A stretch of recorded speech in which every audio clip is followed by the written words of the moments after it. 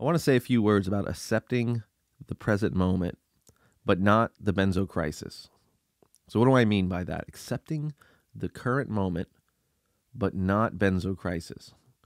All right. So, let's begin with uh, the current moment. The current moment is right now, obviously. It's all we ever have. Now, the problem with our mind is that it operates in time, in thoughts.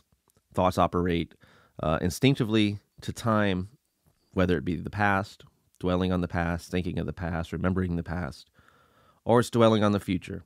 And it could be anything as uh, soon as we're dwelling on what we're going to eat that night, uh, how we're going to sleep, what we're going to do, uh, upcoming uh, doctor's appointment, all the way to retirement, all the way to our deathbed. We live in this future projection, we dwell in this past projection, and neither are real. And when we look into the past, we're almost certainly reframing and repainting everything through, you know, the lenses of rose-colored glasses. We romanticize the past. I mean, it's, and I didn't realize that until I got older, you know. And you would hear stories about something that happened, or you might look back on a relationship, or a job, or a career, or this or that, and and you just we always remember it somehow being brighter. It's it's it's always remembered in technicolor, and we sort of gloss over all the the bad stuff that maybe came with it, the reality of it. I mean, why is that? Why do we sort of roman- romanticize the past? And I think it's because it's gone and we can't get it back. And I think there's this instinct to sort of, uh, you know, see value in the things that you can't get back anymore. You can't go back to your 20s. You can't go back to high school. You can't go back to college, perhaps, you know, uh, or that career or that relationship or w- whatever it is that we're romanticizing. So therefore, it becomes, you know, um, more beautiful to us in a sense. But it's not an accurate perception because, again, we're just looking at the best parts of it and we're amplifying those parts. So, and my point is, if you could go back to the past, if you're dwelling on the past, chances are you would actually be shocked at how uncomfortable you probably were back then, you know. But that's the way it looks when you're going through benzo, especially because this current moment is so terrible, it's the last place you want to be. So it sort of feeds that instinct to drive away in your mind, you know, to drive back to the past or drive to the future. And now, now we look at the future, and what is the future? The future is, again, this projection that's not happened, not even certain it's going to happen, at least not in the way that we usually are thinking about the future. But there we are. We dwell in the past and we live in the future. And the whole time we're escaping the now. And this is the same for everybody. And it's always been this way for everybody. But again, the benzo mechanism just amplifies this situation because we don't want to be in the now because the now is suffering.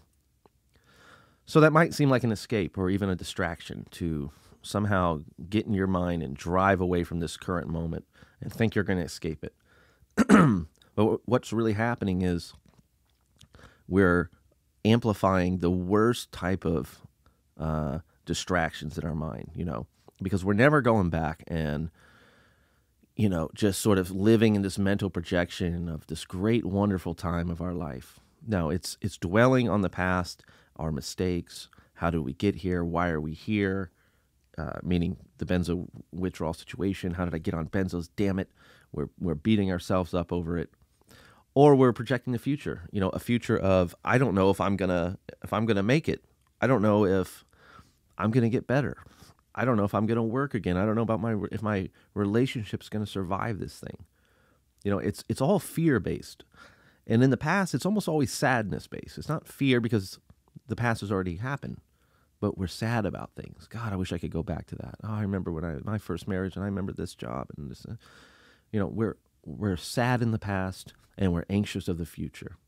So, this instinct to sort of escape this moment of benzo suffering so we can be sad in the past or anxious in the future, it's a mistake. It's a fallacy. It's, it's, it's an irrational thought. You know, it's a maladaptive coping mechanism, I guess you could say, that we will try to do something that we think is going to alleviate something that brings us more suffering, essentially. So again, accepting the present moment, not the benzo crisis. When I say accept the moment, what I'm telling you is a way to stay present. Because the more you deny the moment, the more you push the moment away, well, of course, your mind's going to indulge in the past and the future and going to get swept up in your thoughts and they're going to start ruminating. Those thoughts are going to spin like a hurricane and they're going to gain speed and more speed and more speed. So the present moment is the best thing you can do. I mean, be distracted in the present moment, whether it's gar- gardening or watching a comedy film or spending time with a with your loved ones or uh, making a list for things you're going to do in the future when you're better. All these things are better than dwelling on the past or worrying about a future that's uncertain, that's undecided.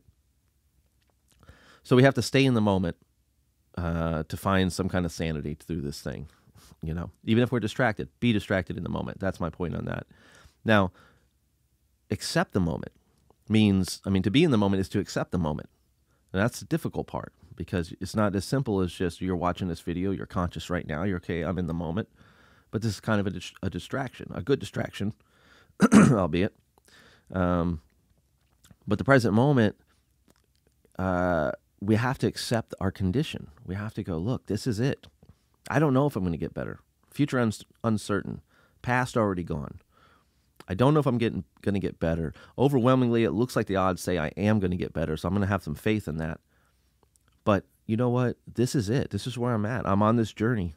I often like to say it's like we've been dropped off in a jungle and we have to walk out. Nobody's coming for us. We have to walk out a little, you know, even if a few steps every day, even if we crawl on our elbows, we have to get out of this jungle. So we go back to the moment and we accept the fact that this is what we have before us. We have this big, arduous task before us, this big, big challenge. Now, what we don't have to accept, and this is distinctly different, guys, is uh, the benzo crisis. When you when I say accept the moment, I don't mean accept your suffering in a sense of, oh well, I'm suffering, this is it. I'm not saying accept the crisis. Fight the crisis. Do everything you can to get out of this benzo crisis. You know, do your exposure, do your exercise, focus on healthy patterns that will promote sleep, diet, lifestyle changes, coping mechanism for your panic attacks. You know, gradual systemic uh, systematic desensitization for things like driving phobias and such. Uh, you, you, know, and there's different phases in the benzo uh, recovery uh, process because you know one is of course the just the withdrawal, which is almost impossible to do damn near anything, and then you start to kind of come out of that. Your symptoms start to decrease, but you're still pretty heavy, and it's it's really hard from there to really walk the rest of the way out of the forest. But that's where most of the work really happens. There's sort of you you endure the storm, and then you walk out uh, again, even if you're crawling on your elbows.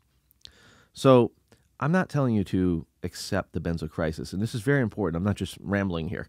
Uh, this is important because if you don't know the difference, then you won't accept the moment because you'll mistake accepting the moment for accepting this terrible condition. And of course, you shouldn't do that. You shouldn't just accept it. You should surrender to the currents of the things that are out of your hands, but everything else you should do. In fact, that's always been my message is to do more, to do more, to fight this thing. You know, the, the cover of my book has boxing gloves on it because it's a fight or flight uh, kind of war we're in. And I'm telling everybody, fight this thing. Don't lay down. Don't give up. Fight it. Uh, part of that fight is accepting this present moment. It's accepting, okay, I've been dropped off in the woods or this this crazy forest. There's tigers everywhere. I have to get the hell out of here. Uh, you accept that, but you don't surrender to it. It's not a. Uh, it's not just a. Okay, I'm in the jungle. I guess I'll just die here, right? So, hopefully that helps with some perspective here. Hey everyone, thanks for watching and listening. Please click the like and subscribe button if you enjoyed the content. And be sure to check out my book on Amazon, The Powers Manual Benzo Guide to Recovery.